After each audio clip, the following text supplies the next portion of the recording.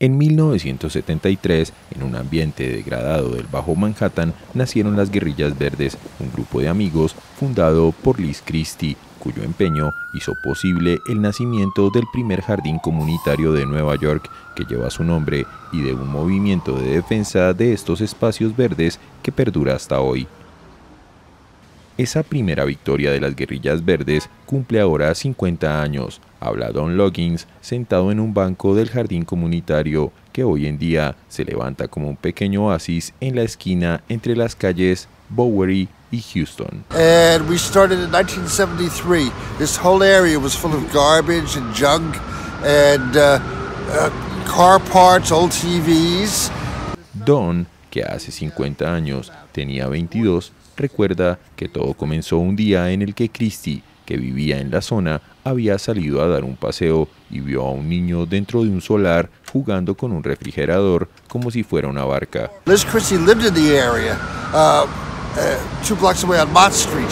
And one day she was walking by and she saw this kid playing in a refrigerator, pretending it was a boat.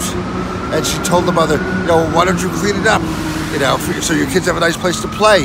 And the mother said, well, you know, I I have five kids. I don't have the time.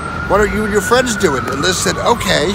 Christie llamó a Don y a otras personas y se pusieron manos a la obra y en casi dos meses sacaron la basura y la chatarra y en otros dos arreglaron el terreno y comenzaron a plantar.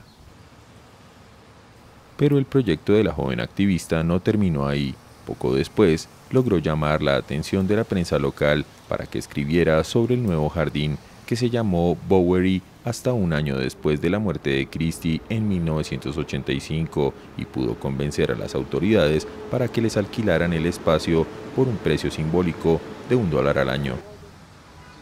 Cuando se conoció la proeza de Liz, empezó a recibir llamadas de gente de todos los condados neoyorquinos, el Bronx, Queens o Staten Island, pidiéndole consejo de cómo mantener y crear jardines comunitarios. Las guerrillas verdes habían nacido.